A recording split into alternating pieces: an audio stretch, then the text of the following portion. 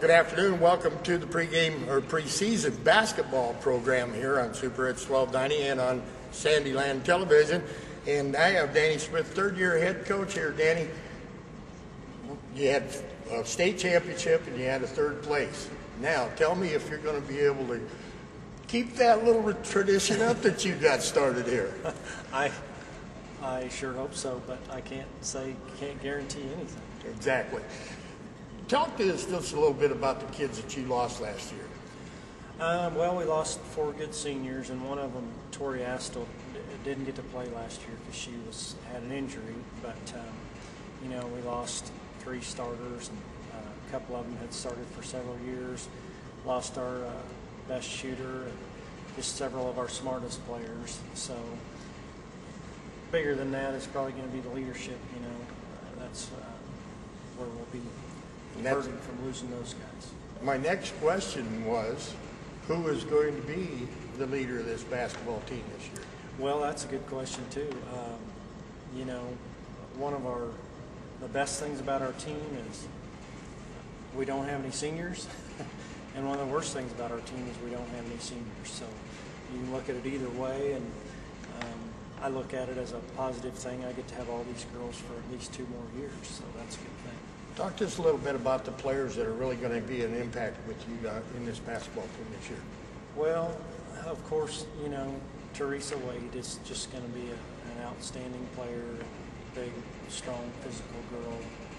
Had a really good year last year as a sophomore, and, and she's only going to get better. And, um, you know, outside of that, Jamie Waters played some varsity last year for us, and, and uh, she'll be a factor again. But, you know, her and, and Morgan played some significant time in, in varsity, and they're both just sophomores. So I can't say how good they're going to be because they're just sophomores, and, and uh, you know, we've got a lot of inexperience. Ten, of our 12 girls are freshmen and sophomores. The younger players that you need to step up, is that going to be critical with your team this year? Absolutely, and that'll that'll determine our whole season because you know the younger players are gonna have to play. Whether or not they're ready to play varsity, that's not the question. Um, they're gonna have to play, and so that's that's gonna be the key for us. Your league schedule and your non-league schedule, your league schedule has always been tough because you got, you're in that league.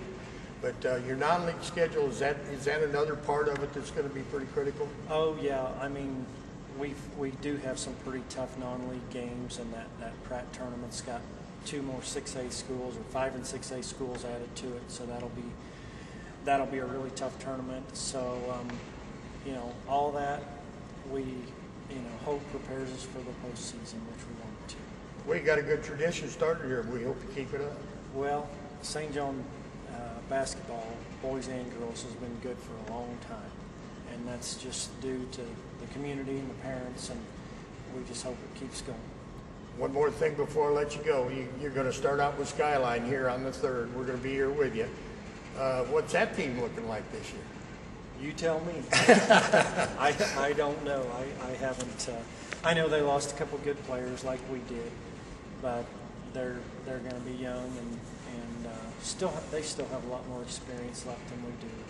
But um, we like our chances with about anybody really. So we'll just come out and play hard like we always do and see what happens. Well, you've been competitive since, since the last three years, so uh, good luck to you in the St. John Hey, uh, Clay Ketteman, head coach, 10 years worth here in St. John High School, and you again, another tradition guy that's got a basketball team that, uh, you know, you, you lost a lot of good kids last year. What do you expect out of this one this year? Well, you know, you say it's been 10 years. That has flown by. There is no doubt about that. It's been a great 10 years.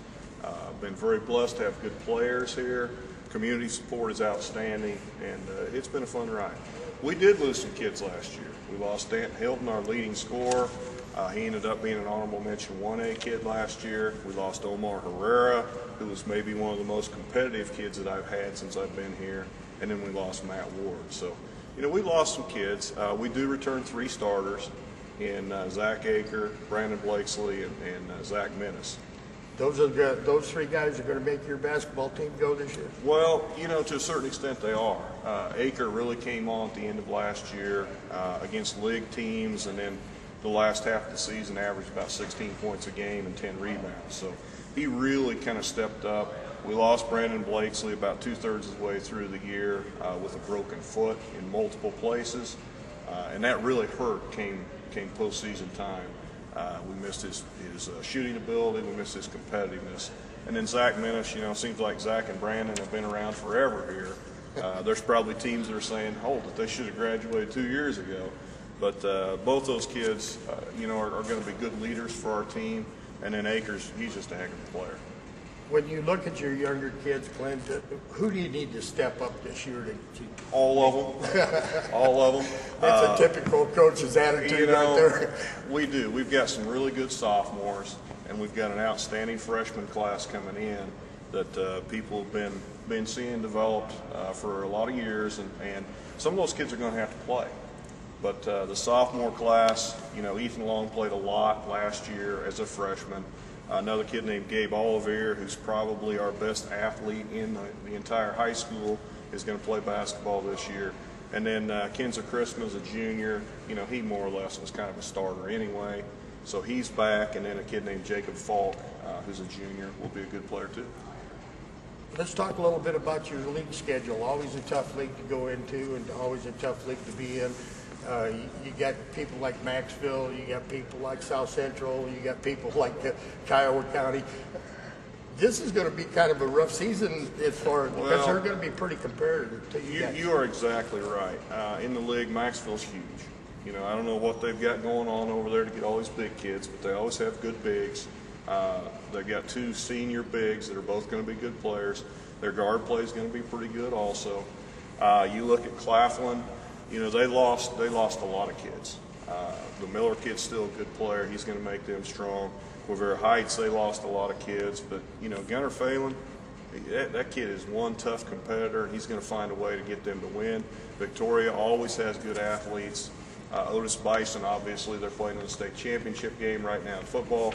Obviously, they have athletes. So, you know, we got our work cut out all throughout the league. There's there's no night that you can say, hey, we can take this game, you know, real light and just kind of go. But uh, at the same time, that helps us, makes us better down the road. and your non-league schedule is just as tough as the It always is. It always is. You know, the Midwinter Classic is going to be awesome uh, with the teams that are coming in again.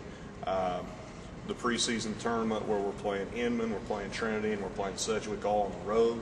You know, those are good, bigger schools that uh, they help us too. Clint, uh, you got a you, you got kind of an uphill battle this year, you think? Well, yes and no. Uh, you know, we lost some kids off last year's team. We were 12 and 10, but we've got we've got probably the most uh, athletic team that I've had since our state championship team.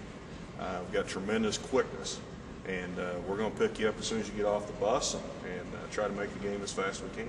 All right, Clint. Well, we'll see you on December the 3rd against Skyline. Sounds outstanding. All right, thank Look you. forward to it.